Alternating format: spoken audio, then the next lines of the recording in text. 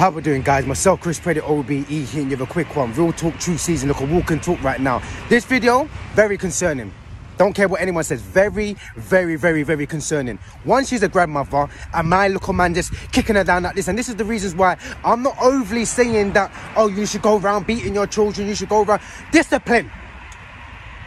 Discipline now, that's what I'm talking about. I'm barking at discipline. But because the governments gave so much rights and so much laws to young people, look at what he said. Yeah, all it takes is one kick. And what hurts me is someone's filming it.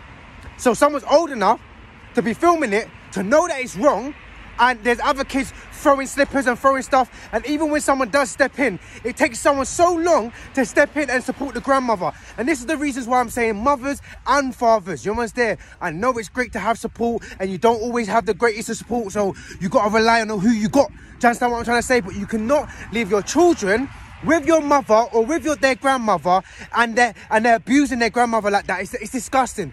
Absolutely disgusting. I'm actually horrified in what i've actually saw. And these are the kind of times when it's 2022 remember them days when it was to be like oh it's only the white kids that are rude and all the rest of it. White black mixed heritage it doesn't matter all the kids are rude right now. They don't have no respect for no family members, no mum, no dad. Like, he put his hand on his grandmother. Think about what I'm saying. Think about how old she is. Think about if she actually fell down and slipped her disc, broke her back. You know what's there? Because when you get older, you get very, very fragile. So my question to the government is, as much as you're coming up with schemes, as much as you're trying to help domestic violence, women cases, knife crime, my whole solution is you should be putting back more laws into the actual parents' hands. Because it's funny how when I'm sitting there and we're blaming the parents like, oh, knife crime, knife crime.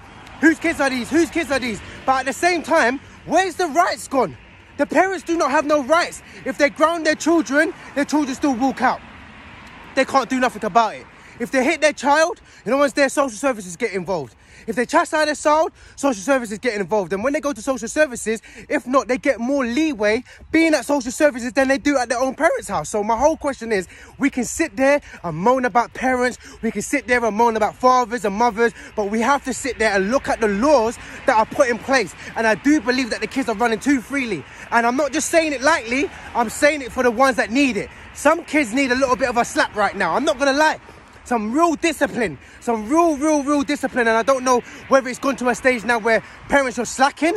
I'm not gonna lie, where I never, I never want to hit my kids because I was hit when I was young. I get all of that. But if you're not gonna put boundaries, if you're not gonna put discipline, if you're not gonna put respect, morals within to our children, these are the kind of things that are happening. And what's concerning is the fact that he's doing it to his grandmother, the fact that he's doing it to family members. It can only imagine what he's gonna be like when he's older, to the public out on the street, how he's gonna be towards women.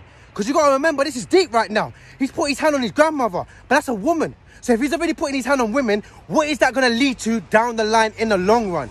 Very, very, very, very concerning. This one here really, really hurt my heart, man, to see young people right now with no care and no discipline for any adults. And when their adults is the one that's actually supporting you, putting food in your belly, you know, as their clothes on your back. So if it wasn't for your grandma, you could be in care right now, big man. So these are the kind of things where it really, really, really breaks my heart. But please, guys, share this message. Keep your children safe, most importantly. And let's try and help our parents, and if not help other mothers and other fathers, get back their rights to their young people. What's you guys' thoughts? Comment below.